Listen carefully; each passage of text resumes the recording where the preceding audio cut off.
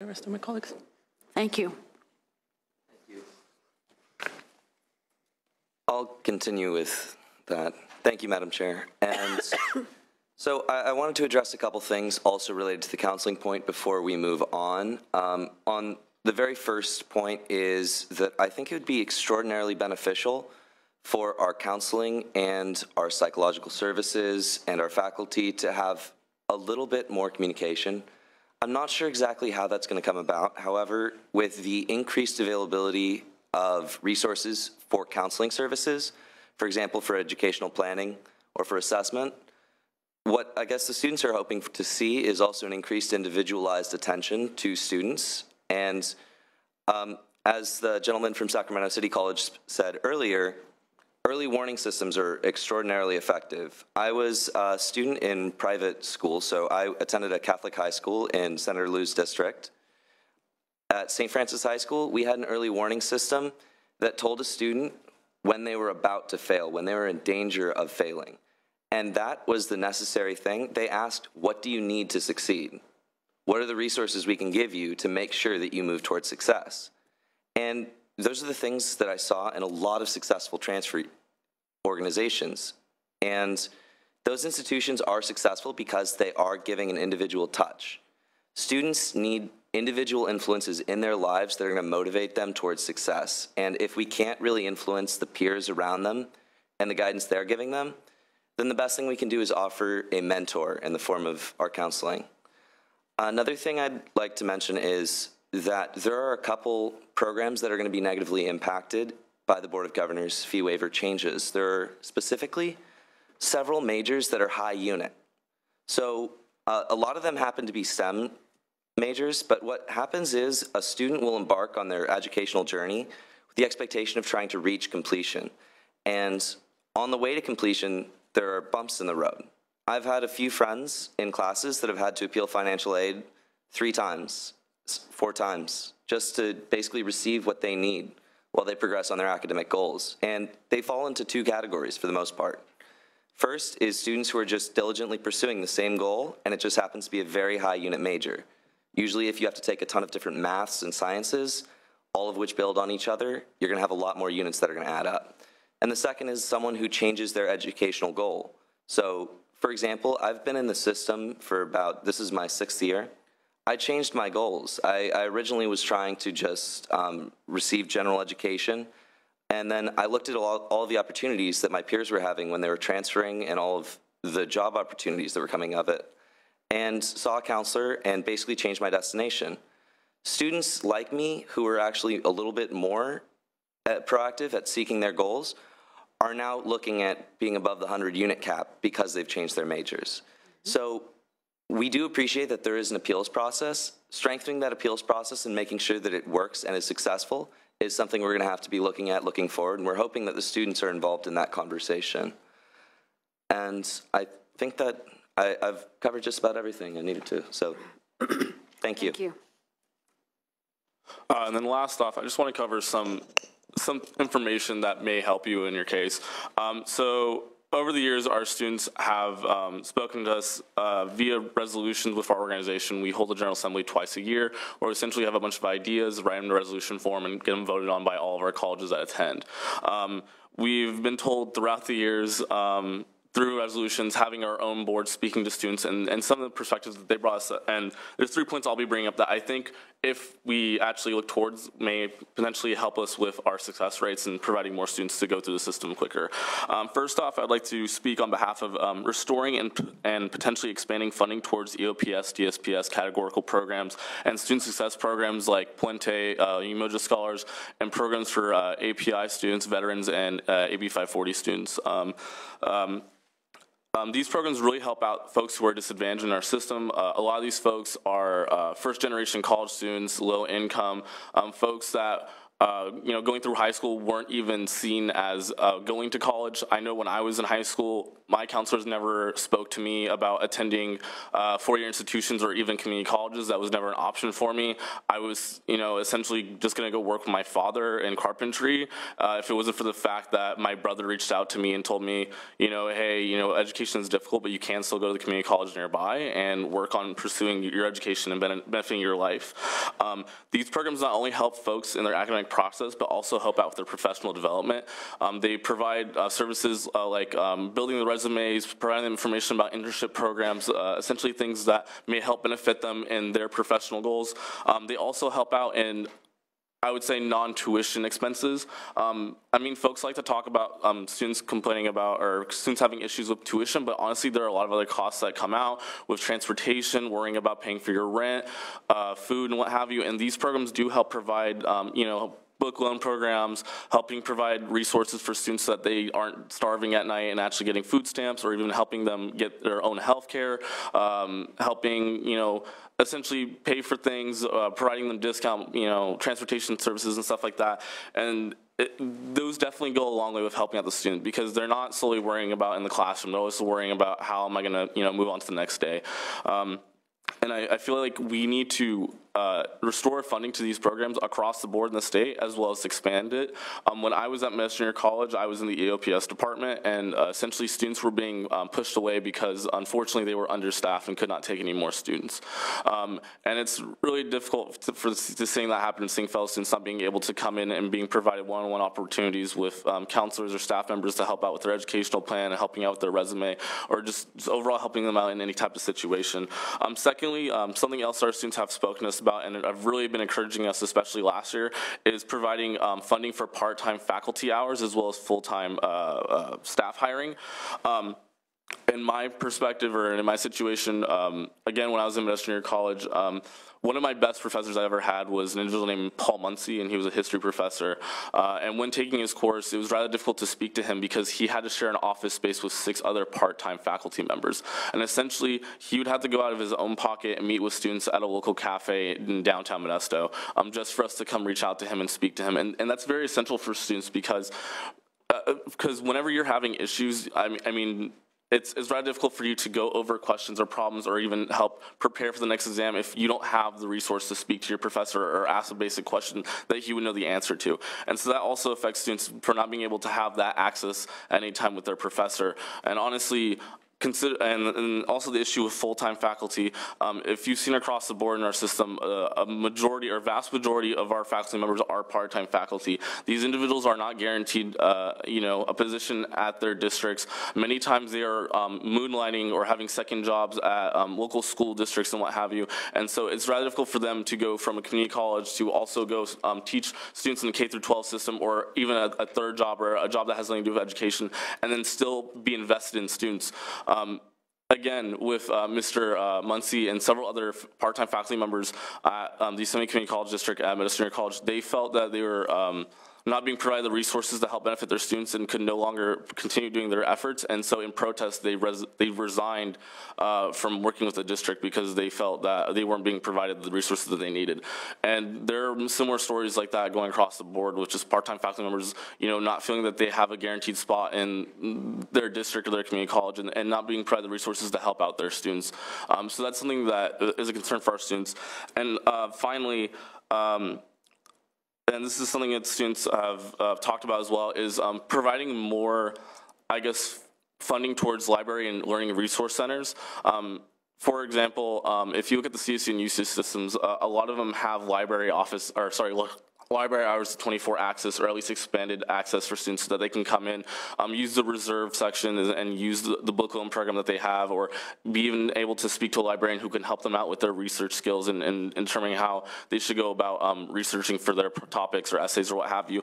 And unfortunately, um, in the community college system, not all, you know, or not all community colleges or even districts have office hours open late for students. Um, and that's a huge concern considering, you know, the students need a safe place for them to study, and at times students have to go to Starbucks or what have you to do so because they can't study at home, um, as well as um, expanding on tutoring programs. Um, so right now, uh, a lot of community colleges have it to where they use um, part-time, or not part-time, but they use students who are being paid through the federal work, study or being paid by the college to go to the tutoring um, schedules. But unfortunately, these individuals are just like us. They are going, to getting their education, they're also working for their families, and they have their own obligations. So it's rather difficult for students to come in and work with these tutors because they only have specific hours throughout the week to work on it. And so I think to help out students and, and help them out with, with situations with their student success, we should potentially provide more funding into those type of programs to either um, one, um, increase the tutoring size so that folks um, can have, so that more folks can be um, coming into, or either uh, hire full-time individuals to be tutors so that when, whenever the library is open from 8 to 5 or 8 to 10, there's always someone on staff there to help them out with their problems. Because unfortunately, when you're ha- having a tutor who only comes in Tuesdays and Thursdays from 2 to 5 to help out with your physics course or with your mathematics course, you know, some students can't go during that hours. We have class during that time. We have work during that time. And so that causes a hindrance as well, is that we're not being provided um, the resource or I guess the help with um, fellow peers or even just you know faculty members uh, on our campus with that. So uh, those are some issues that our students have told us um, time and time again. And I, I, think if we can actually invest in this, this would definitely benefit our students in the long run and eventually, um, I guess, help them speed through their educational process. Thank you very much, all of you. Um, Any questions, Dr. Pan? Uh, Thanks, Liu. Um, I, uh, thank you so much for your testimony. Um, I appreciate uh, many of the points you brought up. Uh, One thing that struck me, and actually I didn't ask the question when the chancellor presented, though, that uh, want to dig in just a little bit into, um, you talked about the fact that actually people who are majoring in STEM or in others, they have they have the, the, the, high credit burden. And I also noticed that one of the measures that the system's using is the so-called efficiency index, right, to see how efficient um, we're processing. Certainly, you know, want to have more efficiency in college, but I'm, I'm, and I haven't dug into the measure, so I'm not sure, you know, in terms of how it operates. But one of the things I was concerned about was is that do we have a metric that then discourages um, classes or courses or people from going into things like STEM, um, health professional, health professions classes tend to be very inefficient because we, you can't expand class sizes very easily. You tend to have large lab components, right? Clinical components. You have STEM lab components. So you have an efficiency index. It's like how many students can you get per professor or per course. Um, it's one thing to add in, you know, and there's mentoring and there's other advising issues that involve if you add another 10 students to a class in a classroom, what happens when you have a lab course and you don't have 10 extra benches, right? And then do those courses get penalized when uh, on the campus level, and then of course, obviously at the student level as well. Uh, so I guess it's more of a general question, but uh, um, but you know, I, I, don't know if that's a concern that uh, um, that might be there. And if you're taking health or STEM classes? Well, you want to go first? You go first. Um, this is kind of to answer the question as, a, sure. as well, Madam Luce Chair. Uh, question. Yes, I've taken STEM classes, um, but my college is very fortunate. It's Foothill College is one of the colleges that are very well funded, especially in its STEM departments. Um, but going off of the um, Senator uh, Pan's question, um, I feel like the question as to whether there is a matrix that measures that is more appropriate for the system. I'm not aware of it as a student myself, uh, but that would be great, and that's what I was um, talking about with increasing our accountability towards uh, what are we actually doing to help our students. So if that means a matrix set up to see how many students per per faculty, how many students per counselor there are, um, I mean, it could be a district thing, it could be a statewide thing. Uh, but uh, I know that, uh, for example, in um, some CTE classes, um, the cost of uh, the the cost of the material, uh, such for nursing programs, and like sometimes even textbooks can be very very expensive. Um, and I know that. Um, we've recently put a lot of money into the workforce task force recommendations uh, regarding CTE programs. So I'm hoping that some of that money can go towards actually incentivizing our students going into these programs so we don't see the completion or enrollment going down in CTE uh, by helping them offset the costs of the re these resources, such mm -hmm. as mm-hmm. their textbooks or materials. Um, but I'm not sure if that kind of ties into your question, but again, I'm not aware if there is a matrix, um, but maybe my student. Well, I, th I think that it's, uh, we just want to be sure we don't have incentive structure that discourages um, students from going into STEM or actually places when we, we, on the health committee, which I also sit on, we talk about workforce shortages, right? And we need, uh, and so, and community colleges are training, you know, dental assistants and medical assistants and a lot of other health professionals and, and so forth. And so I'm just want to be sure, I'm just want to be sure we don't have an incentive structure at the system level that then actually discourages investment in campuses. In fact, in careers that there are jobs that students may want to pursue, that's going to be through the community college, and that we don't have a, a metric that actually discourages the the, you know, the campuses from investing in those because that will lower their efficiency because it, they're harder to expand. You know, it's harder to, to have efficiency in terms of number of students per faculty that you can churn through and so forth when you have high intensity courses, right? Or even just doing away with seminar type courses where you, where actually small group teaching is going to be more effective.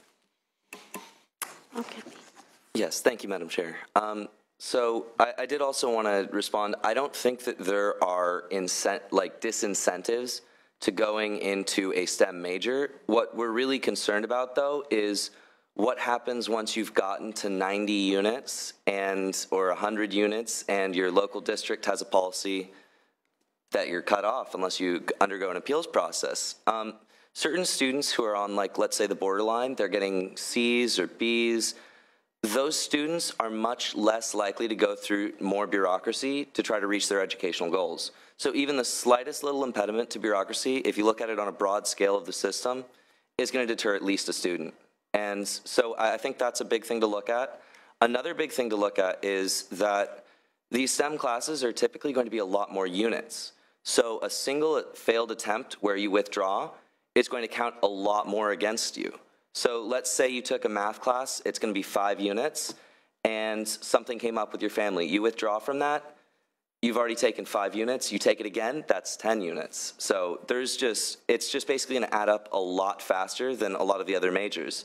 And I don't necessarily think that all of these are going to even be STEM fields. There are other majors that are very high unit, and it, it's worthwhile to actually even potentially just have like a group of people take a look, figure out which units are high, like courses or educational goals are going to be high unit, and deal with them as they come. I, I think an exemption for these specific high unit majors would do a lot to encourage students to continue. So. Okay. Thank you very much. Thank you for your comments. We'll take them to heart. Thank you very thanks- much. Thanks for joining us today. Okay, time for public comment. We're going to limit you to a minute. We'd like you to join, line up, join us at the uh, podium here.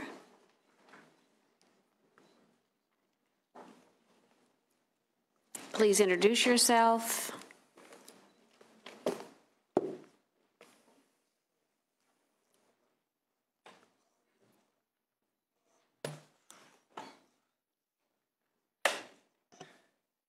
Thank you, Madam Chair and members. Uh, my name is Austin Webster. I'm with the Faculty Association of California Community Colleges.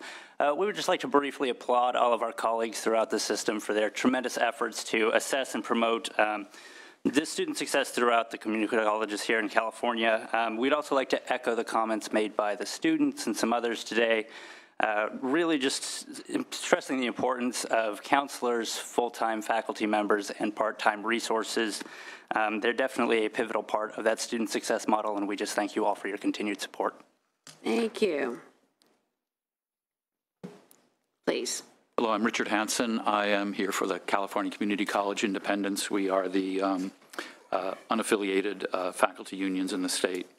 And first of all, I'd like to thank the legislature for the funding. That's a majorly uh, important thing. And I would just say that uh, what I, and I, I have to say that I was on the Student Success Task Force. And one of the things here is that we have a funding stream for instruction, but for student services, this is the big chance to do that.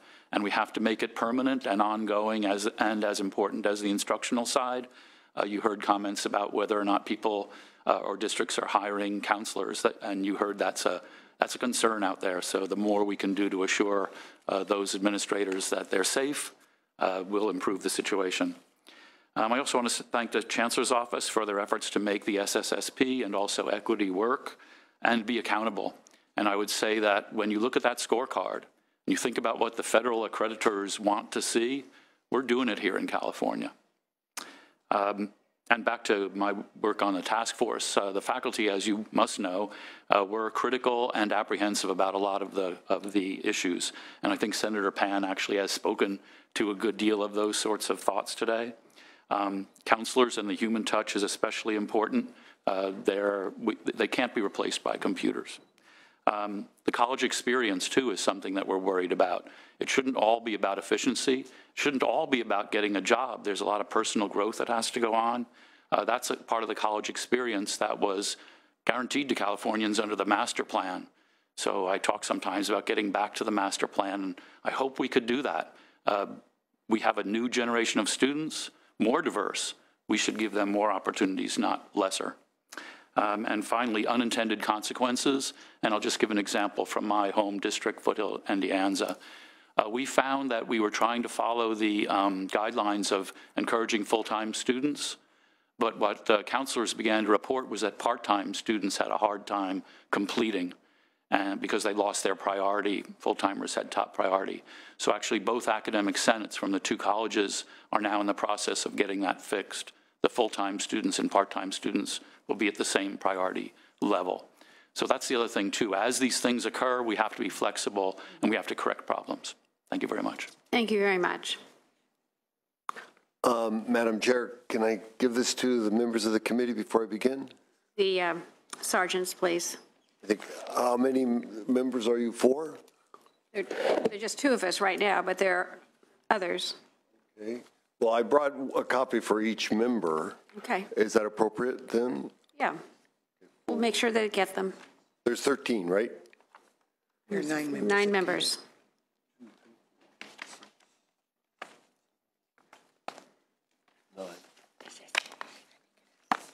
Thank you, Madam Chair. I'm Ricardo Gaudino. I'm the Director of Research and Design for Golden State History. Uh, What I'm giving you is our first design that is going out to 5,000 classrooms across California, eighth grade, third grade, and 11th.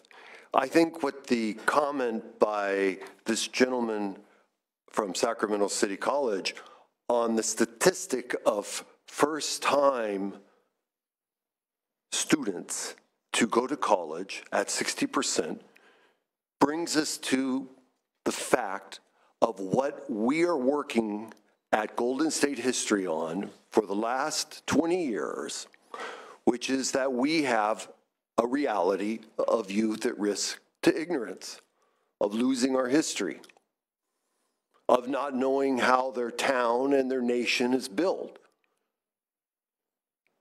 Now, I realize as a Bernays practitioner, who was the founder of public relations, that analysis of social influences and those conclusions give us solutions to move forward. The solution we put on the table in 2006 was Senate Resolution 33 Pacific Maritime Routes and I am almost done. I'm not going to go on. The situation is that having the Super Bowl is a great thing for us because if you don't tackle, you don't win. So if we're going to construct learning, we have to have the essential foundation of our landscape in our minds to appreciate and be prepared. This is what we call basic knowledge. We need to have a standard that's ready. And that is why this legislative session, with the bill already prepared by Leg Counsel, leadership is needed from the Senate to introduce the Pacific Maritime Resolution as a bill. It was passed in 2006, but unless it is a law, it is not respected. I'm sorry to hear that. I thought it would be. And last year, we kind of went through the motions. But if we all want to unify and have a foundation of knowledge that's our cornerstone to grow from, we have to tackle to win. Thank you, sir. Thank you. Yes. Good afternoon, Lizette Navarette with the Community College League of California. I just wanted to take a moment um, on behalf of the CEOs and trustees of our districts, um, just to thank you for your longstanding commitment to student success and for the uh, for checking back on how student success is going. I think um, it's important for us to know that there are champions in the state legislature that are ensuring that uh, we are equipped with the resources, but also the knowledge and information on which direction the state wants to move. So I want to thank you um, and welcome opportunities to integrate student success in all of the efforts that um, move forward within the legislature and, and, keeping that in the forefront. So again, thank you for uh, taking time to hear the progress on these uh, important efforts. Thank you very much. Yes, sir. Yes. Um, For another. Victor Costa again. Um, real quick, I just really want to thank um, everyone up here on the dais, um, you, Madam Chair, uh, and Senator Pan, and the other senators that were here to hear us on our perspective, and also just thank um, Staff Director Kathleen Chavira. If it wasn't for her, we would not be here at this opportunity to provide our own perspective. We came into her office to speak about our two bill proposals about providing student representation on, on CSAC and um, helping provide shower facilities for homeless students in our system. And she, you know, reached out to me and said, we would really love to have the students come and speak on student success and let us know how it is for you. And just, you know, we don't really get this opportunity very often. And so we, we really appreciate that you've allowed us to do this. And especially since, I mean, we came out of our own dime up here and, and, and as students, we'll always come up here on our own dime. We always want to provide the perspective of the students and allow you to do your job uh, and allow us for us to succeed and, and pursue our, you know, our dreams. So thank you. Thank you very much. No problem. We want you to be successful. Yes. Hi, my name is Elsa Mimas. I'm a student, and I apologize, I'm a bit nervous.